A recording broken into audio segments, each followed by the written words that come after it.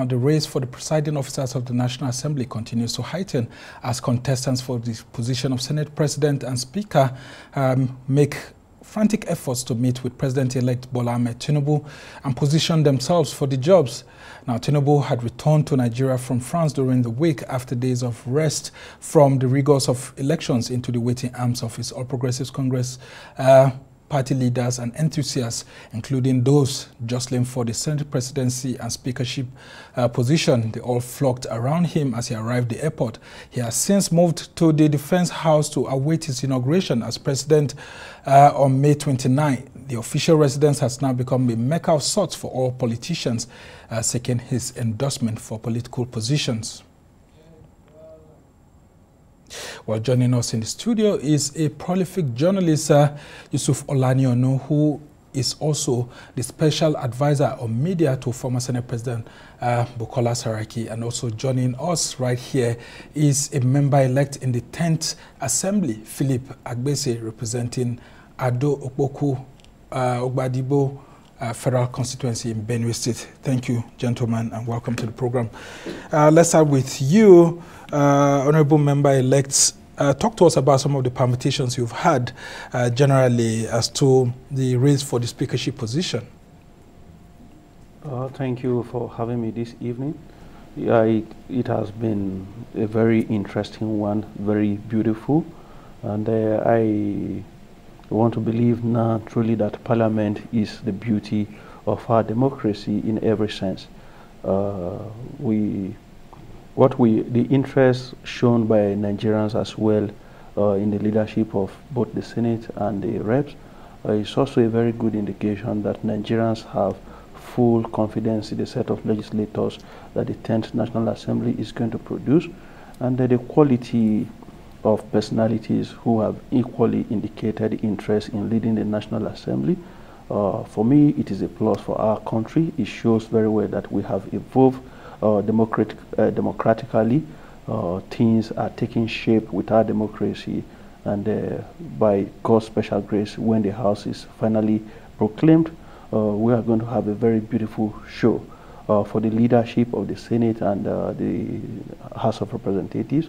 We have equally seen arguments for the North and the South, uh, permutations across uh, political parties, and uh, so far so good everybody is working together to ensure that we have a rancorous uh, session on the day of inauguration. All and right. the best of us uh, is a throne at the various leadership structure of the House. Well, uh, we've seen several groups emerging with some calling themselves One Nigeria, the other United Nigeria groups and all of that. Uh, Yusuph Olaniyonu, Nigerians don't have any votes on that day. It's only the elected parliamentarians. Uh, talk to us about some of the things, the best practices for electing a Senate president, electing a speaker, ensuring that, uh, you know, we don't have external interference because the primary job of electing the leader of these both houses is that of the lawmakers. They are the ones who are to choose for themselves themselves. Uh, the political parties may have a say, but it is whatever they decide to do on the floor that, they, that holds sway. Yeah. Uh, Somna, uh, good evening and uh, good evening to all the viewers of uh, TV. Now, to your question, the first thing is that uh, what we have been witnessing surrounding this uh, uh, struggle for leadership in the yet to be inaugurated uh, 10th uh, National Assembly is an indication that our democracy has still not matured. It has not gotten to the point that we want. Look at the country that we model our democracy after, the United States. You see that, well, the Senate president is, uh, is not an important position because automatically the vice president, you know, is the Senate president. And, he, and so the most important position in the Senate, for example, is the majority leader. But you know, once a party emerges, either the Democrats, the Democratic Party or the Republican Party, you already know who will be the majority leader because the person who is the leader of that party, either as minority leader before they emerge as majority, yeah. automatically um, assume, the assume the position.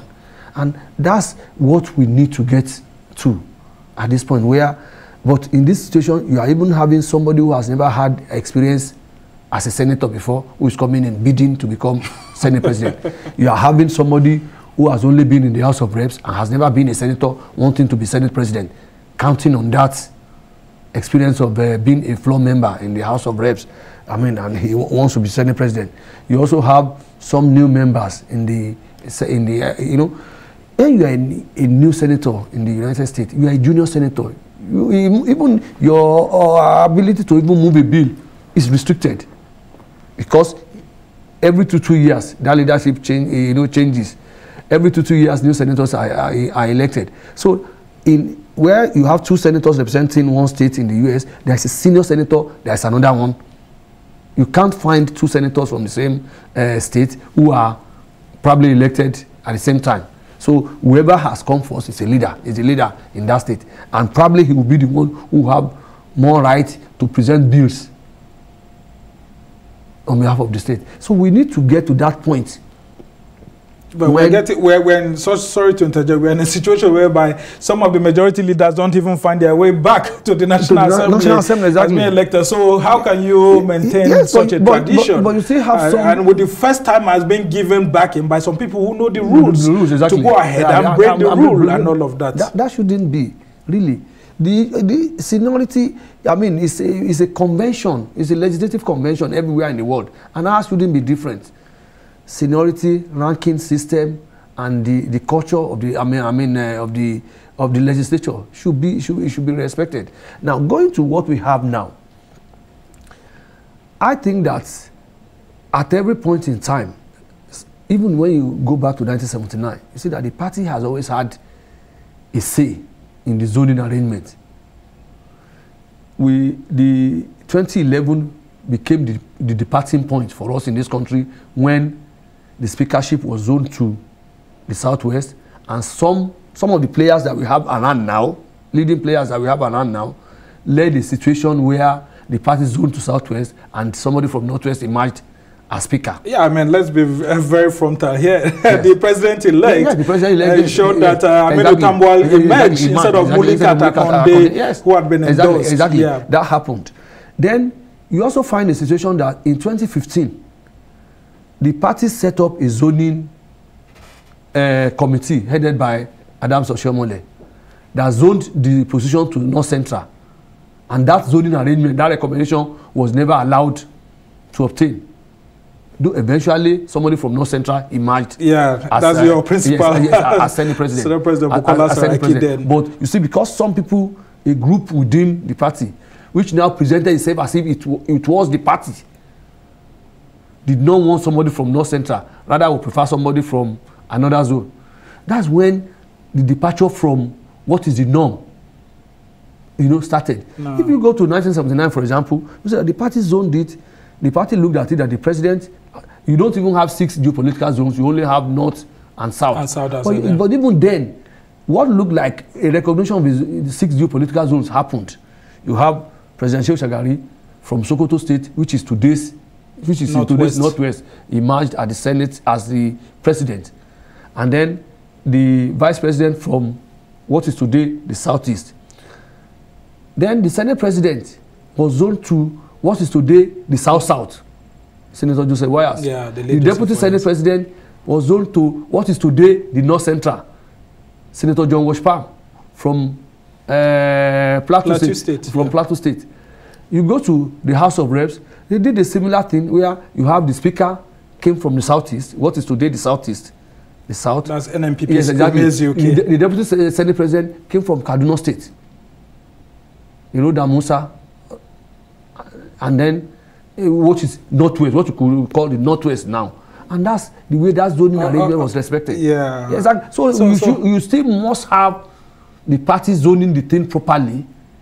And in zoning, so that so that the lawmakers can respect exactly, it properly. Exactly, yeah, pro, pro, pro, All right, I want to bring in the lawmakers because okay. well, eventually these 460 members 469 members yes, yeah. are the ones who should decide their Yeah, and, and I'll bring in the honorable member elect here to talk about why new lawmakers are insisting that you should have a critical role to play in electing the speaker, for example.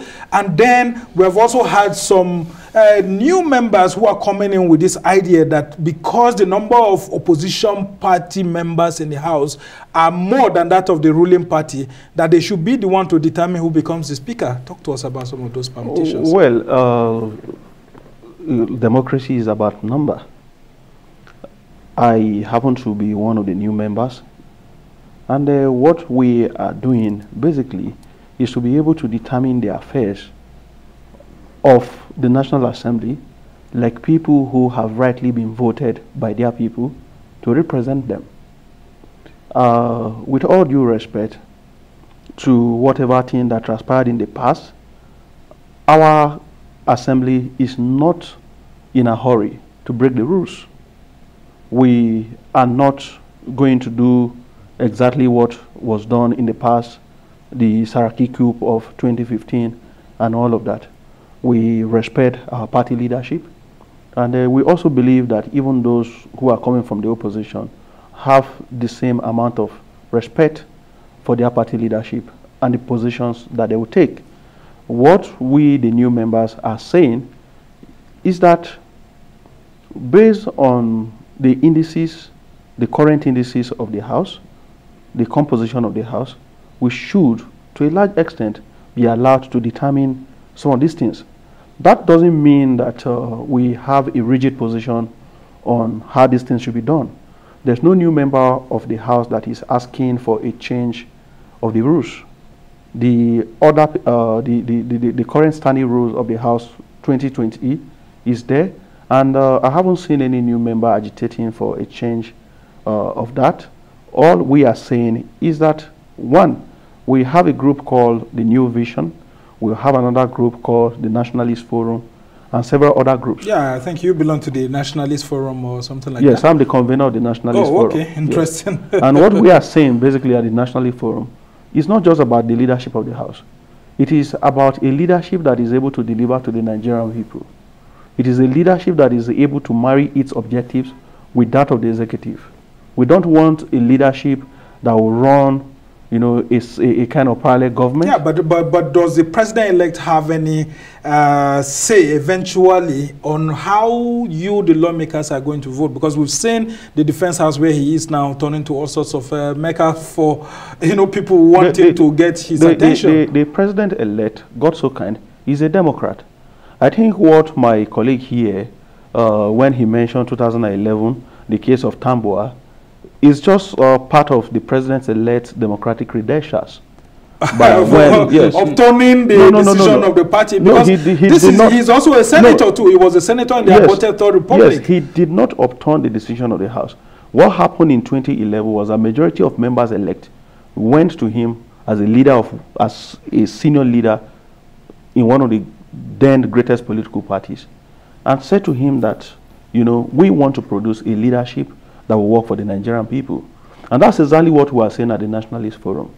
We want to use our numerical strength as new members to determine a leadership that will work for the Nigerian people.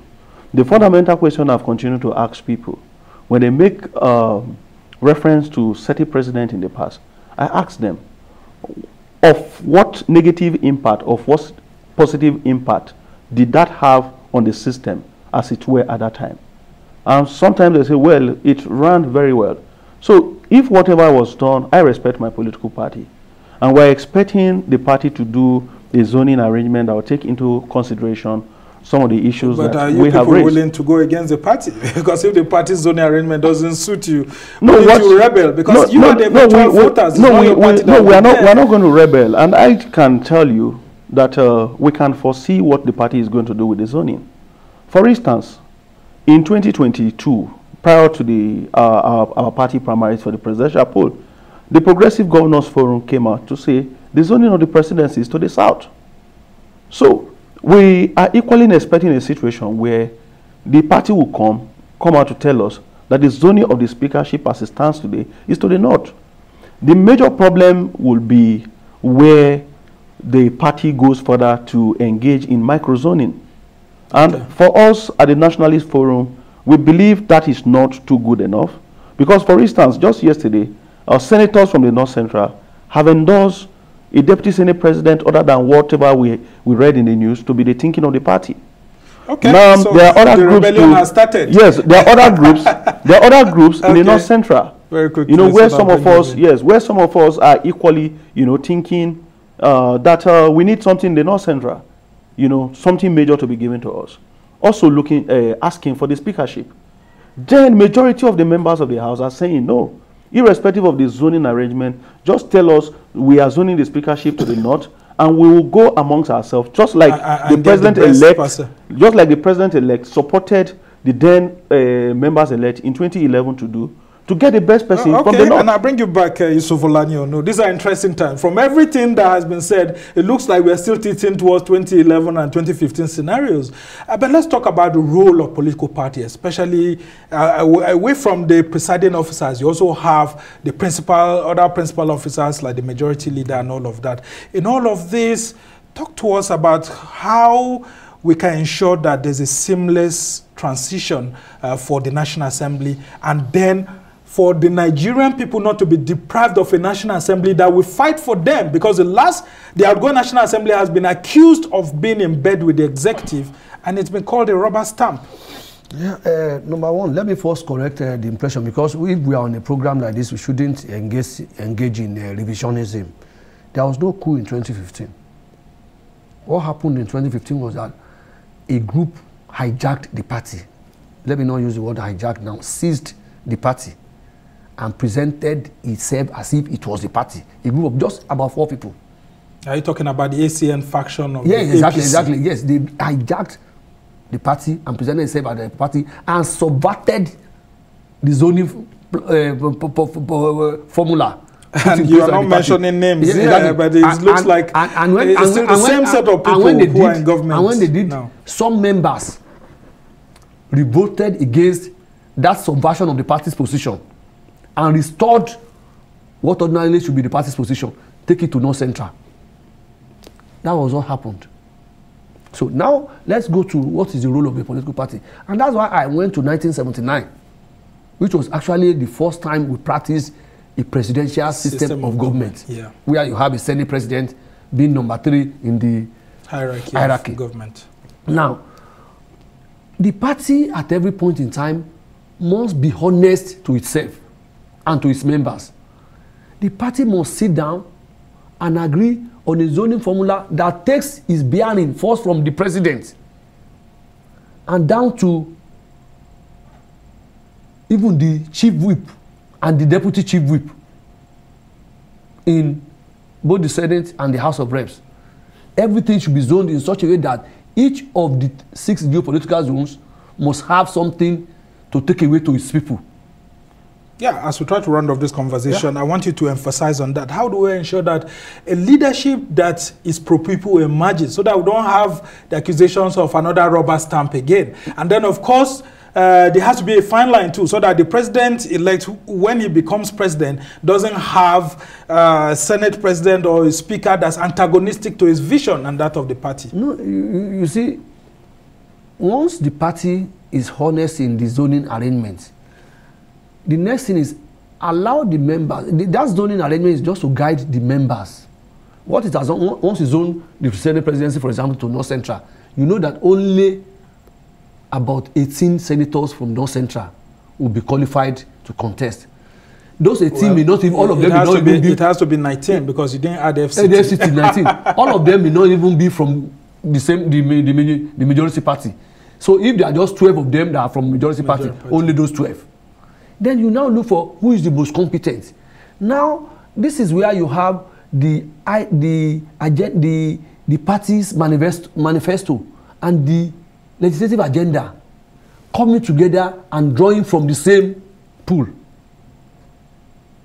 So when you are zoned when you have already zoned you now look for who is the most competent who is the most experienced who can deliver and then you you can then help that one to grow. But it's also very important that while the party is doing that it must also allow members to have their say.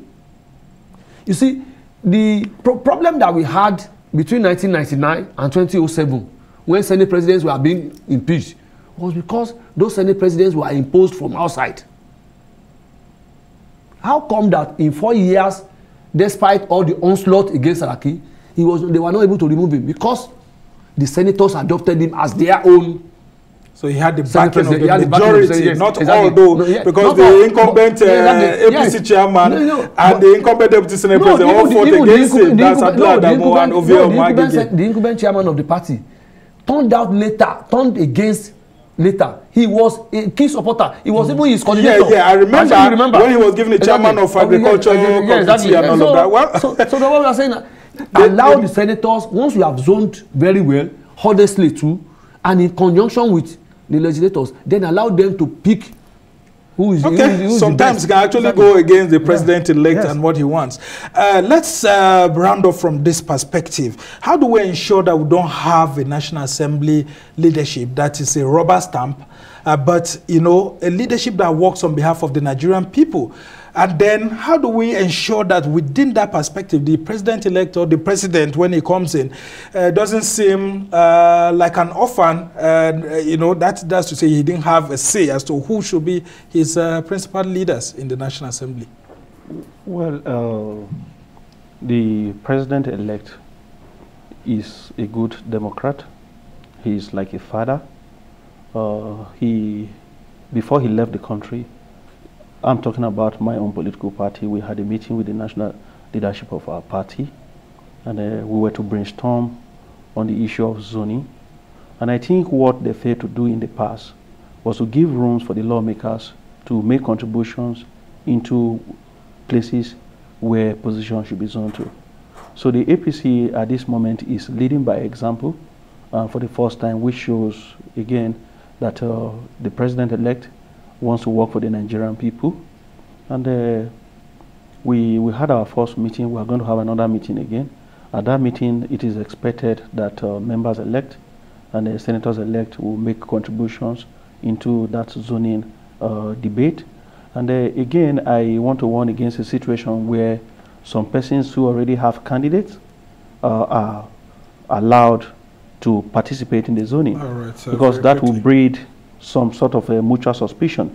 A situation where uh, a governor or a national leader of the party had already indicated interest in a certain candidate, and uh, that same national leader of the party uh, is again proposing a zoning arrangement that favors that candidate, it will be counterproductive. so there's a crisis that is already brewing at yes. the moment. So for so us, I think uh, uh, many people that I have spoken to, and many members of the Nationalist Forum that I'm the convener, have said to us to say people who already have their candidates, uh, if they participate in this zoning debate, they are going to uh, poison the process and they are not going to accept that the outcome of that process. Uh, all right. Well, it boils down to what Yusuph said. Eventually, the members of the National Assembly will find their strength because they are the people who are going to vote.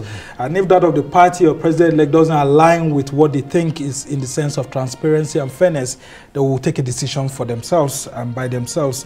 Uh, we must thank you so much. Uh, Philip Agbese is a, a member-elect representing Ado Okpokwu, uh, Ogbadibo, uh, federal constituency in Benue State. And then uh, we've had our own uh, Yusuph Olaniyonu, who's a uh, renowned journalist, and then, of course, a special advisor on media to former president of the Senate, uh, Bukola Saraki. We must thank you immensely for being on the program. And we hope to have you. I mean, it's still a long time between now and June 13 to talk more about this, but this is where we just have to uh, bring today's show to a close. We must thank you immensely for watching this program and we hope to have you some other time next week. Stay with us. I'm Sam.